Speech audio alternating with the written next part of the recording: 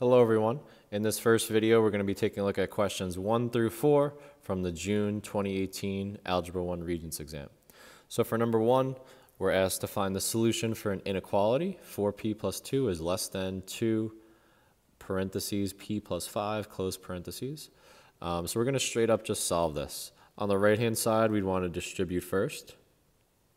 I'm just going to rewrite it to the right hand side.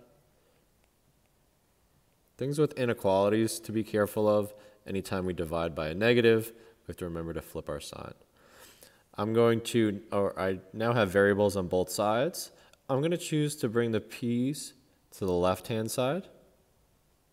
So I'm subtracting 2p from uh, the left and right to give me 2p.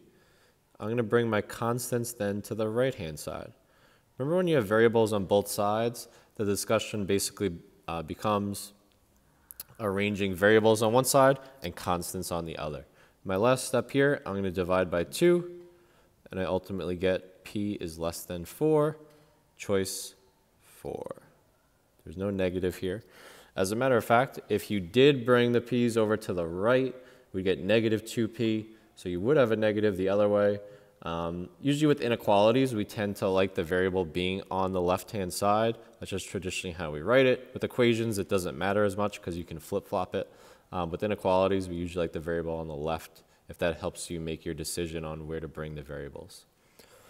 For two, we have a uh, straight-up function notation question. So you kind of have to understand what this is asking. When it says k of 9, that's basically saying plug in or let x equal 9. I would utilize my calculator here personally, so type in the function 2x squared minus 3 rad x. And then you could just go to the calculator table, so you'd hit second graph and see what's next to 9. If for some reason, obviously you have access to a calculator, but if you want to see how this is done the real way, it's just simply plugging in a 9.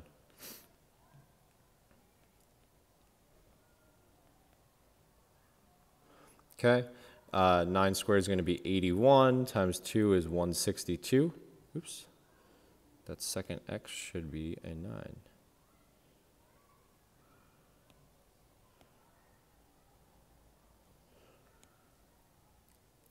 Rad 9 is obviously just 3, so that's going to say minus 3 times 3, or minus 9. 162 minus 9 is going to give us our final answer. Once again, choice 4, 153.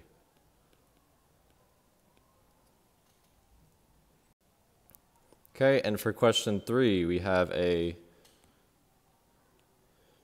uh, basically a polynomial if you want to give this a topic name question. So this is going to be distributing um, and CLT, what I call combining like terms.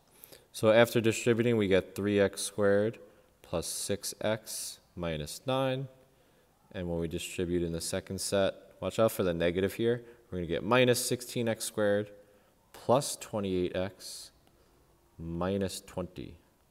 Okay, now 3x squared minus 16x squared is negative 13x squared, combining our like terms. Be careful of the signs here. Signs are important. I get plus 34x. My constants, I have negative 9 and negative 20 or negative 29. Any integer rules you're unsure of, obviously you could use the calculator to help you combine. I see my answer in choice 2. Choice 2. And last but not least, zeros of a quadratic, p of x. Once again, this could be a calculator table question. I could type it in and simply look for where zeros are referring to. Where does y equal zero? So you can scan up and down, seeing which choices. You could even use them to kind of tell you where to look. are you seeing um, those zeros? Or if we want to answer this, once again, kind of like the real way I like to say, maybe you want to kind of double check yourself. This is a factoring question. So this would be our sum product rule. What adds to negative 2 and multiplies to negative 24? It would be negative 6 and positive 4. We do our t-chart, and we end up getting 6 and negative 4. Once again, you could verify this on the calculator table. Choice 3 is correct.